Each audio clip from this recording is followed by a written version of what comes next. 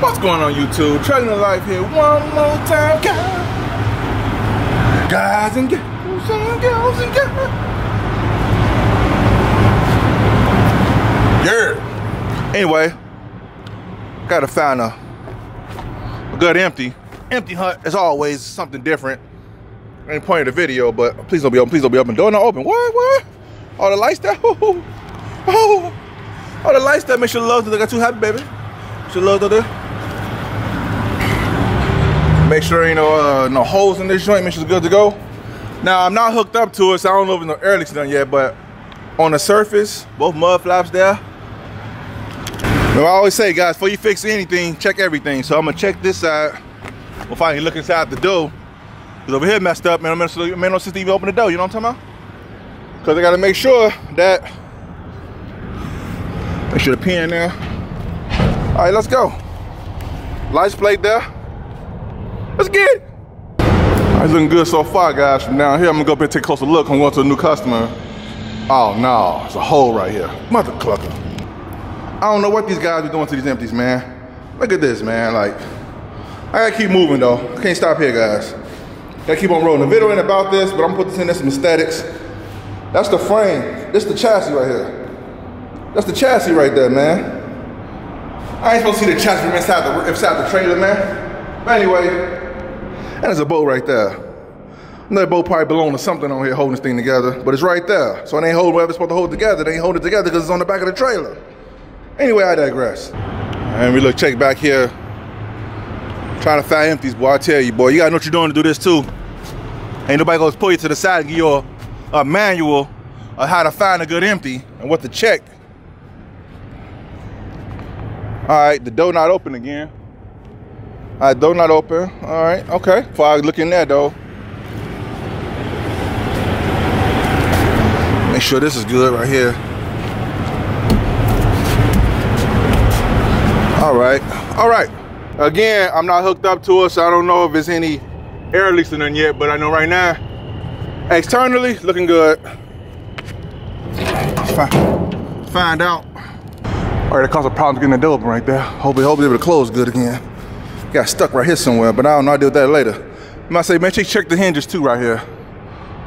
Make sure the hinges ain't all jacked up. I gotta open this door. So I gotta make sure open because I gotta get to the customer. But anyway, it happened. All right, again, this look okay for right now. Let me get up here and look, get take a closer look, guys. All right, it's looking good, man. Looking good so far. I gotta do one test, make sure everything else work, like lights, turn signals, air, no air leaks, and all that stuff. But right now, externally, she's looking, she's looking good. Oh, that's just reflection of the hole right there. She looking good for the most part, guys. Yeah, I could. I think I could do. Take a jam with this, baby. Let's see. Make sure you know holds on this thing. Make sure they know how to order services. Make sure thing will fall apart while we driving with it. You know, basic stuff. You know. All right. All right, guys. Took up to us see if it's good to go. All right, guys. Picked the wrong lane. This guy pick out problems. The box is good, but this guy pick out problems, man.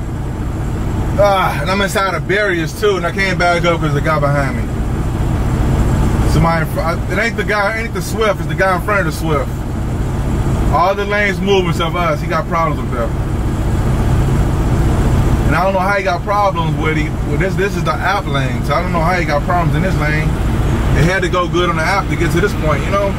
Unless he just did his app thing up here, and he's trying to figure it out up here, I guess, but I don't know sometimes that happens, you know, but there's nothing too about this game. See, look, the right see that slider, he slider just pulled up. He gone already. You know what I'm saying? This guy got this guy got smoke. This truck over here smoking. Speaking of smoke, he got smoking hard. Yeah, he got problems. This dude, his arm, his arm ain't out the window. I feel like a trapped rat right now. I feel trapped. These barriers, I shouldn't have, I shouldn't have told me not to pick this lane. But I just, I went against it anyway. That's what happens when you don't follow that feeling, you know? Hope the guy behind me get the drift and start backing up. We ain't supposed to back up, but sometimes you gotta do it because who knows what kind of problems the guy got in front of us. Hold on. Yeah, he got problems. Yeah, he got problems. Y'all be looking at us in the mirror like, hope y'all don't notice me. Yeah, we see you. We notice you. Yeah, he got some stuff going on, guys. Anyway, it happens, man. It's part of stuff. These the waves. Anyway, guys, I'll see you guys the customer. I gotta. I gotta get out of here.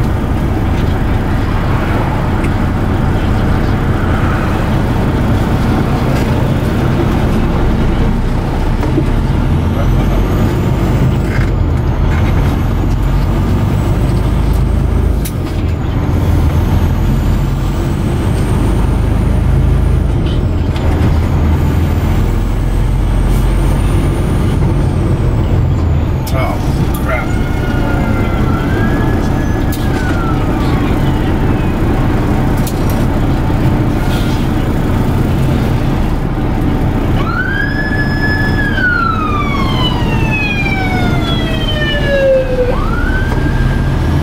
I gotta back up, guys. I'm going into a neighborhood I ain't supposed to be in, man. I gotta back Miss my turn right there, man. Miss my turn. Come on, driver. Come on back there, driver. Seen the sign last minute. Come on. There you go, peoples. There you go. I don't know what's down there, and I ain't trying to find out, I'll tell you that. Hey, back up my hand, I gotta hurry up. Alright, cool, guys, man. One thing you gotta really pay attention, but keep your head on keep your head on the P's and Q's, baby. Let's go.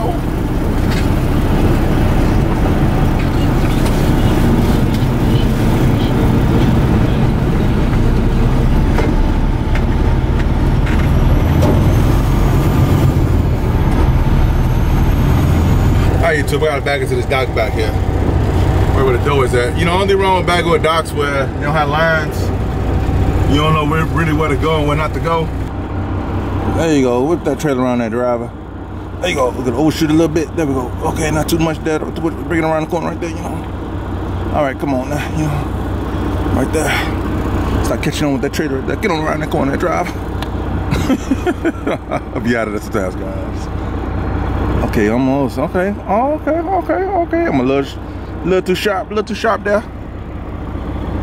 Mm, almost, you know. Almost made it. Almost made it one shot, one kill, but I gotta pull up. Almost. A little bit, get straight, so I don't want to problem with the dock plate. Then I'm gonna get to the point, uh, divisio. What I like about mom pops, little, what I like about mom pops is uh, shippers and receivers. They kind of get you in and out. The most part, that is. I should have checked up top, make sure we're nothing up top, guys. But anyway. So anyway, guys, to get to the point of the video now, as far as like owner operators is, uh, is trouble in the marketplace. There's a little word play on the title. But these are facts. Owner operators are being stumped out all over, guys. Small guys are being stumped out. And I'm gonna touch on this video right here about being leased on with, with, a, with a company that got company drivers. I wouldn't recommend doing that unless you had to really do that because what happens is if the market gets slow like it is right now, who do they gonna start cutting first? The owner ops or the company drivers, which is actually in-house drivers. That means whatever the drivers make, even though they, I think everybody is liabilities. If you costing a company money, you are definitely a liability. You just may bring in more revenue to generate, to make you kind of an asset. But at the end of the day, if they cut expenses, you're still a liability. But I digress. So who who you think will get cut first? The owner operators or the company drivers? They'll cut the owner operators first, cut the fat first. Because a lot of companies build their companies off owner operators. Because they don't have to take on the expenses of the fuel, the maintenance of the truck. All you gotta do is work workflow. You got the man, the manpower, the workforce. But again, everything comes with the challenges. Like your own operator, they got the ability to turn down lows. So now they may lose accounts because the owner operators don't want to do the account because it's a trash account. And the company can't make them do it. Now you got some companies that got forced dispatch. But anyway, I, I think I'm going to rabbit hole real quick, guys. I, I'm, I might as well. Force dispatch, I think that's wordplay too, because you have some companies that'll force you to do things without forcing you to do things. You got some companies say, hey, we got a contract, hey, you, you gotta do whatever we give you because that's in the contract. That's force dispatch on up and up. But you got force dispatch is the company say, hey, that's all the work we got for today. They got other work sitting right there, but they gonna let you know what they got, and they're gonna try to force you to do the things that they need you to do without forcing you to do it. That's another form of force dispatch. But that's another subject for another video, guys. But anyway, what I think what I think was going on is the owner operators getting stumped out. Is this companies out here that I found that I ain't gonna say on here. What they're doing is they're stalling out all they owner operators. They, they're pretty much stalling them out so they either quit, get canned, or they're doing a sweep. And they getting rid of a lot of owner operators and they really getting uh, more company drivers. They either trying to force the owner operator to conform to become a driver for them, or you, you got to move around. This thing is bigger than I think what a lot of people really, really see what's really going on. I hear guys say, yeah, I'm finna give me a bunch of trucks and I'm finna do this, whatever. I don't hear, I don't hear a lot of guys talking about that lately. The guys who's been in the game, I don't hear a lot about talking lately. But you still got something out there. And I ain't saying don't do it. Maybe you got a better plan than somebody else. But you better have a rock solid plan. The, the, the cards out here stacked against the small guy. Either you'll get down with them or you get out the game. Bottom line. You know what I'm saying? And it's a movement that's way above our pay grade. We down here trying to just figure out how to pay the mortgage, the rent, car note, probably have a, a fancy dinner here and there, you know, the old lady, old dude. These people on top, they don't care about none of that. All they care about money, power, and control. That's it. They got the money, they got the bread. They can stall you out because they can afford to. While you're at home trying to figure out how you go make your next run, make some sense, and how you gonna keep that truck running until you make your next run they sit they sit on a golf course talking about, yeah, man, you know, we're gonna we're gonna hire this, that, and the other. You know, yeah, we oh big merger, the merger coming, y'all. Oh, thousands of jobs lost. Hey, too bad to be them guys, huh? I'm back. I'm back. I'm back.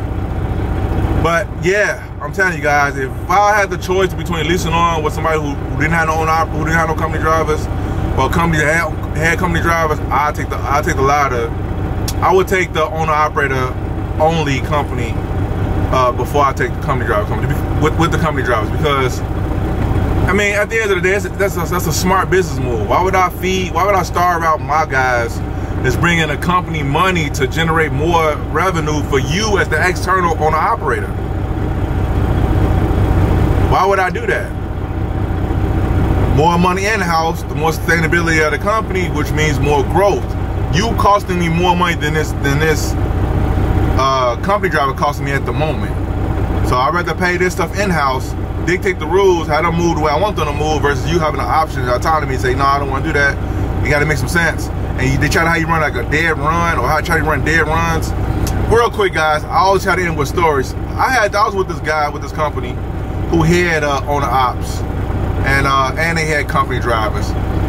What they was doing with us was uh, they was trying to get us to like fade us out. What they're trying to do, they'll just give us like crazy stalled out work.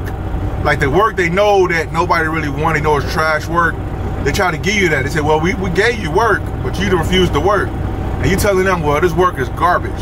So what they was doing was they're trying to give you like one load at a time. So you got one load, one load, one load. Now this made this work different when you are a local guy that's on operator versus over the road. One load may work. You may take make it take you half a week to get somewhere with one load or it may take you a couple days to get to where we want to load. But when you're local, you trying to move, move, move, move, get stuff done. You know what I'm saying? So that one load is stalling you out. So you come out there for one load, and you probably barely made $200 for that day, if you make that much off one load. I, I done did some loads before they paid me $90. And I ain't afraid to say it. So imagine you coming out all day, every day, spending four or five hours on one load, and you only made $90 for that day. That's how you get stalled out. But anyway, it's a, it's a, the owner operators are a problem out here for a lot of other people. They don't want the they don't want the problems. You got bigger guys up top that's making rules to stump out the small owner operators. You guys don't know what's going on. Keep just keep watching. You'll see what's going on. So we might say, well, you still on operate right now. Yeah, I got plans though. I got real plans, and I, Lord knows I'm working them. Because at the end of the day, if you don't have a plan out here, you're gonna be left out here naked. You're gonna be left out here naked. And I'm saying that I'm saying that nicely. But anyway, that's it for my rant for this video, guys. Anybody out there who really want to get into this business and do a lot of things in this business, really have a plan, a rock solid plan. Right, I'm gonna leave it right there. Anyway, you stopping by for the first time, hit the subscribe button. Don't come in here and just walk two and get up out of here. Holler at your boy, man. Rock with me. And hit that button. Also, too, if you want coaching, if you're owner operator or your company driver, especially in this market, email me at info at truckingandlife.com. Serious inquiries only. Don't want to waste each other time, you know what I'm talking about? But anyway, I YouTube. Hope this video was helpful. Give you a little understanding what's going around here. I'll see you guys in the video. Peace.